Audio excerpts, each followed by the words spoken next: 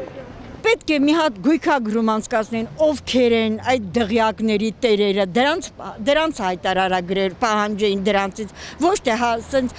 մի 450 հազար աշխատող կան որոնք ցածր աշխատավարձ են ստանում դրանք ինչ հայտարարագիր ներկայացնեն Շարքային քաղաքացիների եկամուտները հայտարարագրելու կառավարության որոշումը վրթովեցրել է ֆինանսիստ Մարիամ Գասպարյանին 67-ամյա կինը լուրը լսել արդեն քննարկել էր գործընկերների հետ այդպես էլ չգտնելով իրեն մտահոգող հարցի պատասխան պատասխանը, ինչ նպատակով է իշխանությունը ցանկանում հայտարարագրել նաև իր եկամուտները։ Եթե հարցնել էինք խոսում, որ տեսնես, որ երկրում ա որ այդպես բանա հայտարարագրեր են վերցնում։ Խնդիր չի, եթե մարդու հացի փողն ու տրանսպորտի փողին պետք է հայտարարագիր վերցնեն, եթե դրան են դա ինչ որ կնպաստի պետության զարգացման, չգիտեմ ինչի համար, թող վերցնեն, բայց դա անիմաստ բան է։ Օրենսդրական նախագիծը կառավարության այսօրվա նիստում հավանություն ստացավ, քննարկումն ազգային ժողովում համարվեց անհետաձգելի։ Եկամուտների մասին տվյալները էլեկտրոնային տարբերակով հարկային մարմիններն են կազմելու, իսկ քաղաքացուն մնալու է դրանց ճշգրտությունը ստուգելը։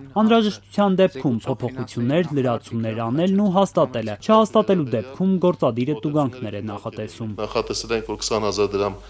դրամից սկսած ըստ խմբերի, ռիսկերի խմբերի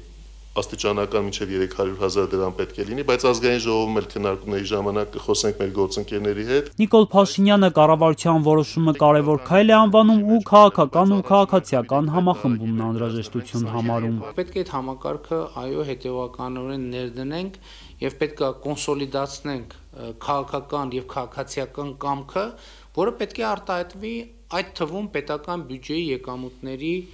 աճով։ Ֆինանսների նախարարությունն առաջարկում է հաջորդ տարվանից սկսած փուլերով 3 տարիների ընթացքում սկսել քաղաքացիների եկամուտների հայտարարագրման գործընթացը։ Առաջին տարում հանրային ծառայողները 1 միլիարդ դրամ եկամուտը գերազանցող կազմակերպությունների բաժնետերերը պետք է հայտարարագրվեն։ Քաղաքացիների շրջանակն ամեն տարի կմեծանա։ Արդեն 2026-ից Հայաստանում բնակվող ՀՀ մշտական քաղաքացիներն ամեն տարի հայտարարագիր կունենան։ Կառավարության գաղափարը մեր հարցմանը մասնակից ոչ բոլոր քաղաքացիներին էր դուր եկել։ Չեմ հասկանում։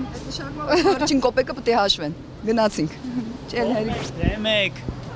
Ձեզ հաշվում է։ Ես են կարծիքին եմ, որ այս կառավարությունը կառավարություն չի։ Պետք է ունենանք, որ պահանջեն։ Գող ենք։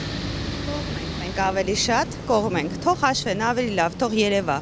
ամեն մեկի աշխատավարձը հասարակ քաղաքացիության նկատմամբ նման մեխանիզմ մշակելը ճիշտ չի, որովհետև նա ոչ պետական ինչ-որ պաշտոնյա է, ոչ